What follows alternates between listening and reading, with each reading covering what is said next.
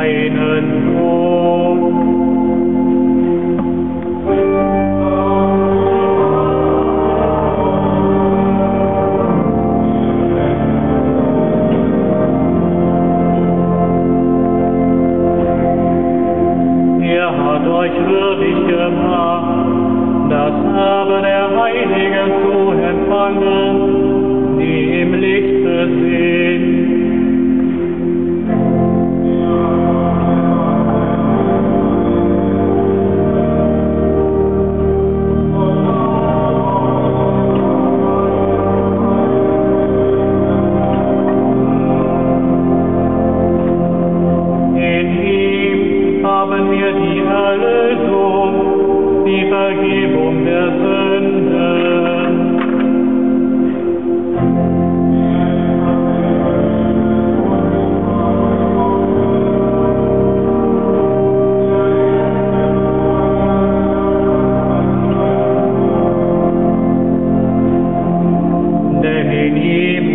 Alles erschaffen, im Himmel und auf Erden,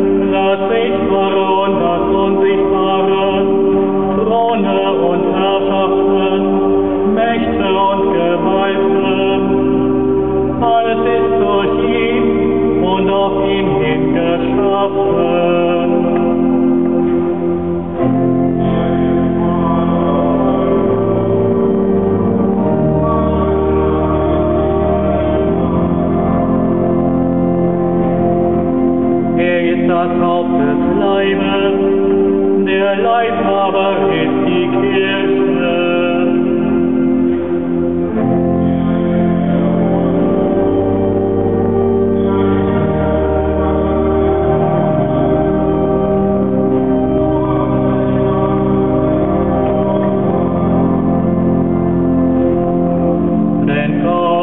Gott wollte sich in seiner ganzen Fülle in ihm wohnen, um durch ihn alles